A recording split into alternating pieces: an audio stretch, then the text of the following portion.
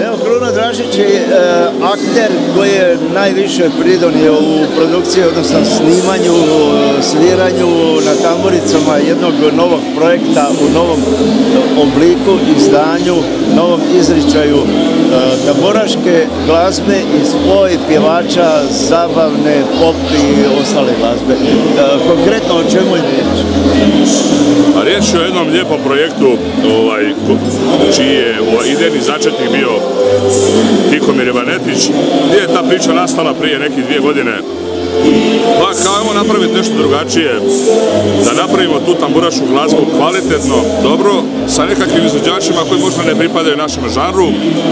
I evo on je svojom to nekakvom upornošću i, i voljom uh, uspio doći do tih krasnih izvođača, to su sve redom eminentna imena hrvatske glazbene scene, gdje smo evo kroz te dvije godine napravili jedan jako lijepi album i nadam se da će se ljudima to svidjeti, jer to su ipak imena koja su napravila neke od njih jako velike karijere poput Arsena Dedića, ne znam, evo, Jack Houdek, stvarno lijepa imena. Ti si uglavnom e, radio aranžmane i e, svirao dobar dio instrumenta, ja sam radio aranžmane i sve sam instrumente praktički odsvirao, e, tako da je, evo, meni je ovo prilika reći da je to stvarno bila čast raditi za takav tim izvođača i ljudi i kažem, ovom priliku zahvaljujem Tihomjeru koji me s kojim surađujem zadnjih deset godina koji mi je ukazao povjerenje veliko jer e, s tim ljudima nije baš ono na prvu bilo lako raditi, ono, treba, treba ipak napraviti aranžman za jednog Arsena Dedića, no međutim sve to lijepo ispalo, pohvale su već pale. Ja e, sam htio napomenuti kakve imaš povratne informacije, njihovo mišljenje u svemu obzirom e, da je Tiho u biti čovjek koji je komunicirao sa njima, povratne informacije su izvrsne, što mene jako veseli, od samih izvođača, pa evo čak i do izdavača i svih ljudi koji su do sada preslušali taj album, e, povratne informacije su fenomenalne i to me jako veseli. E, sad bi mogli pitati Tihu, Tihu, idejni začetnik, ko je bio toga? Pa evo, bio sam jedan začet, sam bio ja, jer sam uvijek težio nečemu drugačijem. Znači, htio sam napraviti nešto drugačije, već, ajmo reći, toliko godina sam u glazbi, htjeli smo napraviti nešto drugačije. Znači, to smo, najviše smo surađivali, naravno, ja i Kno koji već surađujem godinama, uvijek smo o tom razmišljali, razgovarali godinama šta, kako, sve to lijepo imati u glavi, ali to je veliki posao u biti stave. To ljudi koji nisu radili to ne znaju. Prvo sam u biti e, podrška prva je bila od gospodina Želimira Babogreca iz Kroacije Rekordca, koji su naravno izdavači tog cijelog projekta.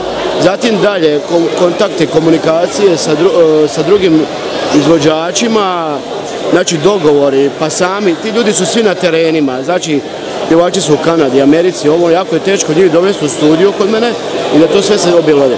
Evo ja bih ovako kako je to u biti teklo. Znači prvo je bio dogovor gdje smo mi napravili demo snimke, znači ništa, ponudili smo da li bi htjeli nasupati, znači sva ta eminentna imena su na prvu pristali. Što je bilo ono očaravanje, jedno, evo, nismo mogli vjerovati, mislim, to je već bio jedan postek koji je bio ono početak da nešto radimo dobro i kvalitetno. Znači od jednog Arsena Dedića, Kanke Paldum, Žaka Kouda, Hervat Bavučića, Sandre Bagarić, Martine Tomčić, mislim sve ono da to bude. I tu smo mi krenuli taj projekt, naravno Kruno, i ja, ja sam u biti u obliku producenta, Kruno je to realizirao u biti i krenuli smo u to. Zatim je došao aranžmani, Kruno je to odsvirao, savršeno, sve to. E, vokali su snimljeni na raznim lokacijama, od Sarajeva, Splita, Kroacija Rekorca, mog studio, gdje sam ja to sve onda doveo kod sebe, smo radili kod mene u Vaneti Soundu, to sam sve doveo i tu smo onda obavili miksanje i završi mastering. Kad smo to napravili, znači kad smo sve dostali, onda smo svim izvođačima koji su na tom CD-u poslali da vidjeli to sve u redu. Svi su bili bez A, sve prva liga i onda smo odjeli tu izdavačku kuću, naravno, i evo taj CD uh, ugledao svjetlo dana, album se zove Ljepote takve ni, s tim da bi još neke ljude tu spomenuo ako je moguće, uh, stručan suradnik je bio gospodin Mihajl Ferić kojima je nagadio podatke, da li je šansona, da li ovo ono, jer se radi o albumu, nismo rekli na početku, to je album starogradskih pjesama i šansona. Tako da je to u biti su znači obrade pjesama koje već nisu snimljene 40 godina smo nešto digli to na svjetlo dana i snimili smo te pjesme pod tim naslovom albuma Ljepote takve mi. Na albumu ima devet brojeva sa deset izvođača, imamo jedan duo Sandra Bagarić, Martina Tomčić. Ja bih samo evo naveo izvođače, znači to je ovako Žak Houdek, Arsen Dedić, Maja Bagdan, Ervin Baučić, Đani Stipanićev, Giuliano, Igor, Igor Delač, Kaka Paldum, Sandra Bagarić, Martina Tomčić. Mislim da sam sve spomenuo. Uglavnom, mislim, ovi ljudi, ja sam odmah poslao eminentnim našim ljudima tamburaške glazbe, gospodinu Siniću Leopoldu, bla bla i tisima, koji će biti na našoj promociji toga albuma, promotori u biti. Znači da su, da je, bitno je da je struka jako zadovoljna To nije album koji je za to pliste neke hitovi, ono to je album art koji se stavi uživa u pravoj tamburaškoj glazbi. Svi koji su ga predstavili rekli su da smo napravili jedno četiri ljestvice gore do sada, ja, meni je drago ako je to tako. Ali evo, zahvaljujem se, znači ja sam na tom albumu ulozi producenta i to majstora, ali to je jedan zanemariv dio koliko je Kruno doprinjelo tom albumu koji je u biti, ajmo reći, moje ideje realizirao u biti da to bude sve ok. Uglavnom, jedan dobar tandem, imamo još dovoljno nekih projekata, uglavnom bit će nešto opet drugačije bilo što. Uglavnom, drago je bilo da svi uživaju u pravoj tamburačkoj glazbi.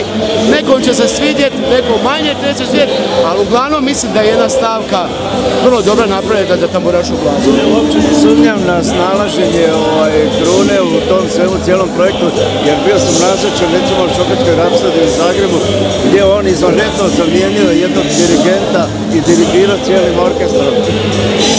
To je bilo da spontano e, lijepo početak koncerta gdje smo nakon napravili ajmo reći šaljivi uvod lijepo se naći u takvoj situaciji. Čast je, kao ispred tamburaškog orkestra, Hrvatskog tamburaškog orkestra, tako i ovdje čast. Pojaviti se tamo negdje nekim sitnim slovima. Danas sutra ostaje ipak zapisano da je tamo nekakav Krunoslav Sadrađić svirao tambure jednom Arsenu Dediću. E, velika je čast. Evo. Se Arsen, recimo i ovi mnoga eminentna imena našli malom mjestu, u jednom malom studiju. Oni su navikli recimo na neke velike studije kao u Lisinskom ili ostalima Jugoslav što je nekad imao. Pa nisu to toliko sa velike studije kao što su nekada bili. I u Croatia Records je to jedan mali studio, samo što on izgleda veliki na kameri. Tamo su sva velika imena snimala, tako i kod Tihomira i svugdje gdje se radi, svi su ljudi jedan svoj obol dali tome, napravili smo, ja se nadam, evo jednu veliku stvar za tamburašku glazbu, da je pokušamo vratiti na nekakve staze, da ljudi shvati da tambura nije samo instrument koji može svira po kafićima, po nekakvim šatorima, nečemu da ipak može biti jedan viši kulturni nivo da ljudi mogu poslušati jednu lijepu pjesmu koja je neka 40 godina bila aktualna.